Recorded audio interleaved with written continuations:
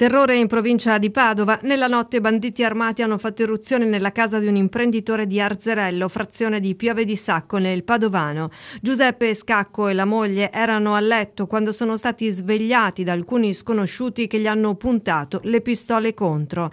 La coppia di coniugi è stata fatta scendere dal letto con violenza, sono stati immobilizzati. Marito e moglie sono stati legati mani e piedi con delle fascette.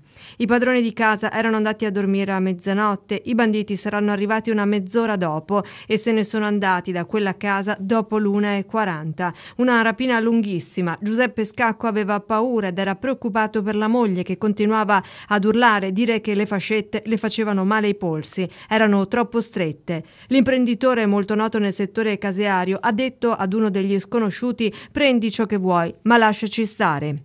I banditi volevano denaro e preziosi, sono riusciti a prendere del contante che era presente in casa e alcuni oggetti d'oro, poi si sono dileguati. L'allarme è stato dato dal figlio della coppia, sul posto sono arrivati i carabinieri della compagnia di Piove di Sacco che hanno raccolto tutti gli elementi utili alle indagini. I rapinatori avevano un chiaro accento dell'est. I coniugi rapinati sono stati portati all'ospedale per essere visitati. La casa dove è avvenuto il blitz dei malviventi Monumenti si trova sopra l'attività commerciale di famiglia, un noto caseificio del territorio, un'area isolata alla quale si arriva dopo un lungo percorso su una strada di campagna, quindi i rapinatori sicuramente conoscevano quel posto e il colpo è stato ben organizzato.